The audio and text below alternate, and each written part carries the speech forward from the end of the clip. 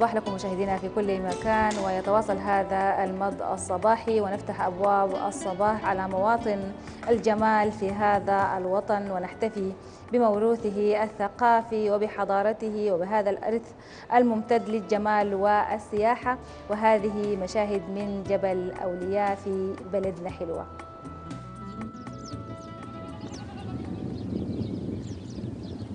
تغط منطقة جبل أولياء الواقعة جنوب الخرطوم في نوم عميق عندما بدأت كاميرا الشروق زيارتها للمنطقة.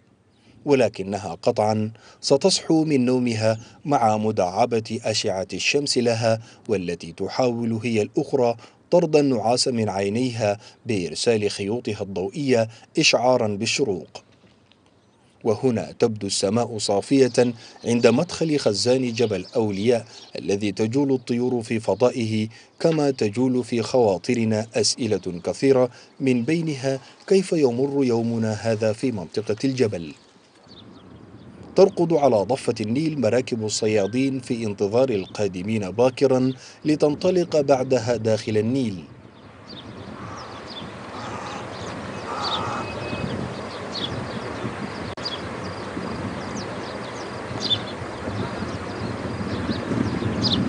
يقف هذا الطائر وكأنه يحرس مركب صديقه القادم ليستلم عنه. فالهدوء هو الذي يسيطر على الضفاف. هدوء ربما تعقبه حركة نشطة تملأ المكان ضجيجا وصخب فمنطقة جبل أولياء تمتاز بطبيعتها الخلابة ومناظرها الجميلة فهي قبلة للزوار يغضون فيها أوقات إجازاتهم. سوق النساء العاملات يقع بالقرب من مدخل الخزان. تقوم النساء بإعداد الشاي باكرا للصيادين قبل النزول إلى البحر. وينتظمن في مواقع حددت لهن لبيع الطعام والمشرب. أعداد كبيرة من الصيادين يتجاذبون أطراف الحديث مع تناول كوب الشاي الذي عادة ما تطلب معه الزلابية. ويطلق السودانيون على هذه الطريقة في تناول الشاي بفك الريق. فهي عبارة عن وجبة خفيفة عند الصباح.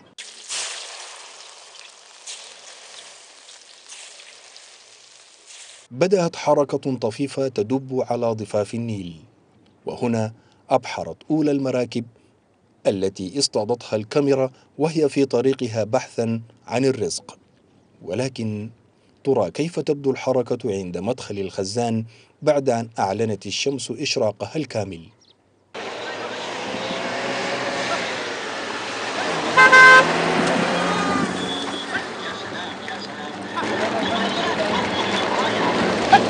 على الضفة الأخرى من النيل الأبيض تنتشر قرى قبائل الجموعية التي تعبر من الغرب إلى الشرق للتبضع فمنطقة جبل أولياء تعتبر أكبر سوق لهم.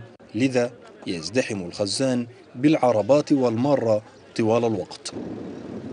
تمتد بحيرة خزان جبل أولياء من جنوب الخزان حتى مدينة كوستي في ولاية النيل الأبيض ويغدر مخزونها من الأسماك بحوالي 15 ألف طن.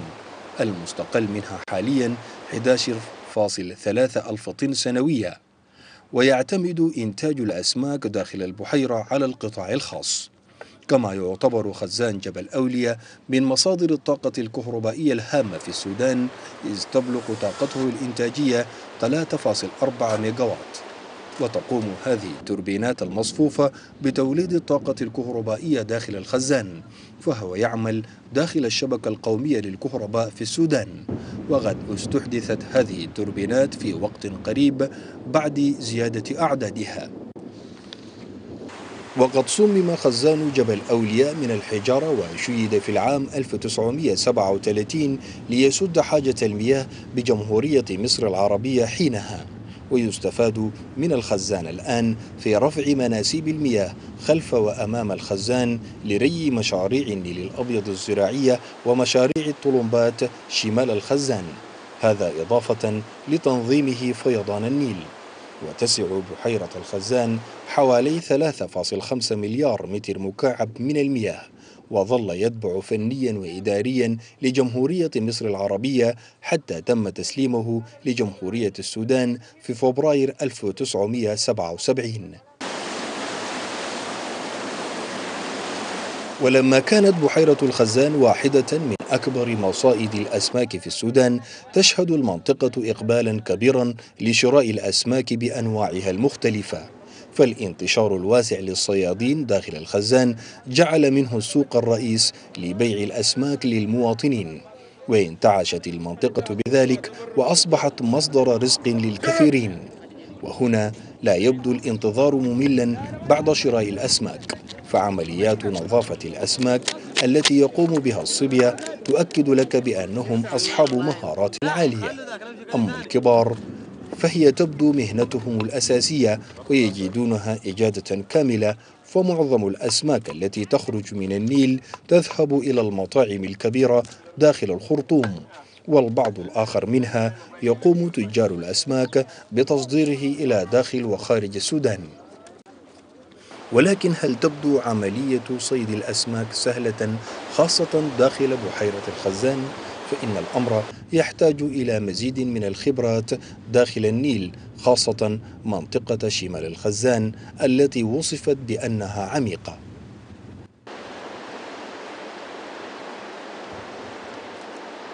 أكثر أعضاد الصيادين داخل البحر ولهم جمعية تهتم بشؤونهم وتعمل على حل مشكلاتهم بعيدا عن الدوائر الرسمية فهم يمارسون صيد الأسماك بالطرق التقليدية.